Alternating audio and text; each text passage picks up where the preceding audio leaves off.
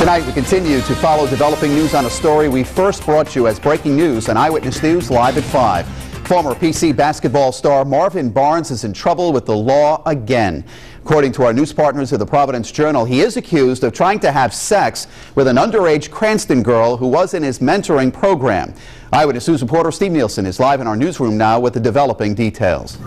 It's definitely not the first time the Providence College star has been in trouble with the law, but this latest allegation is shocking. Marvin Barnes, known best for being a star Providence College basketball player, is in legal trouble once again. According to our news partners at the Providence Journal, Cranston police arrested Barnes for solicitation of a minor.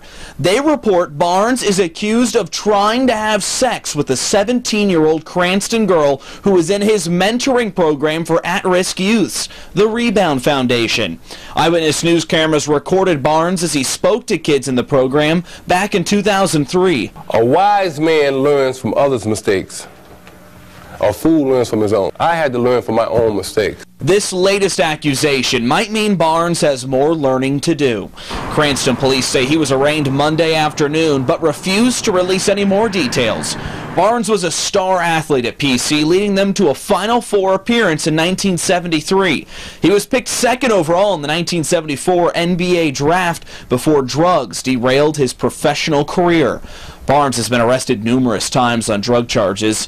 State police arrested him in 2007 in Johnston when they say he was sitting in his SUV on Route 6 with a bag of cocaine.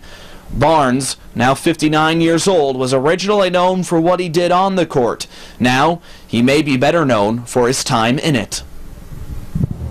And the Providence Journal reports he's due back in court on March 19th. After his arraignment, he was released on personal recognizance. Neither the police nor the Rebound Foundation have returned our phone calls about questions surrounding this case, and we will continue to push for details. In the newsroom, I'm Steve Nielsen, Eyewitness News.